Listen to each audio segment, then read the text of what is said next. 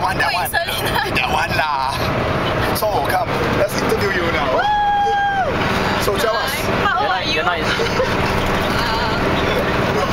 at glorious age. Yeah. Glorious age. A woman's secret.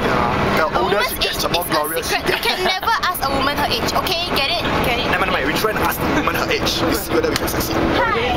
So, what? Uh, where, where were you born? Yeah, where were you born? Which hospital? Glen Eagles. Okay, Oh, that's Gleneagles. Oh, Gleneagles So soon, rich. you know. Oh, a um, rich kid, yes. So, uh, so, uh, is Uh, your which class like, what? Uh? Economy class? Uh, So, like, I know I maybe I can remember. class A what? oh yeah, class A. Class A lah, Gleneagles eh. Okay, so, uh, hmm, Why you keep talking about her so how are you now? Yeah, what you want to? Wait, wait. So what? I already know lah, she's 21. No, no. 21. Uh, she is. Why you why you reveal the secret to our readers? I mean our viewers so fast boring. Change, something.